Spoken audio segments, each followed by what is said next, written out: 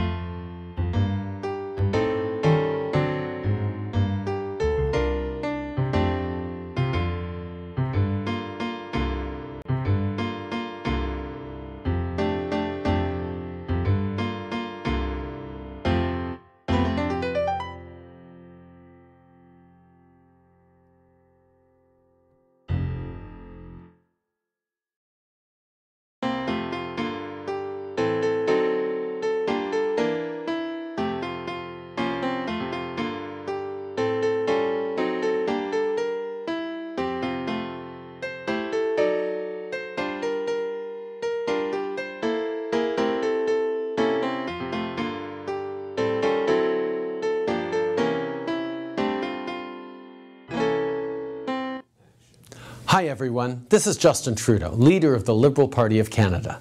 I want to extend my best wishes to all of you here tonight in support of the Renfrew County Child Poverty Action Network. I am so grateful to all of you for the assistance you've shown to this grassroots organization dedicated to helping alleviate child poverty in our communities.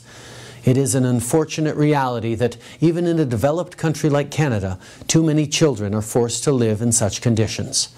The barriers to learning, to developmental growth, and to opportunities for a better life are real, but we all have a role in minimizing and eliminating child poverty. So again, thank you for your support tonight and have a wonderful evening.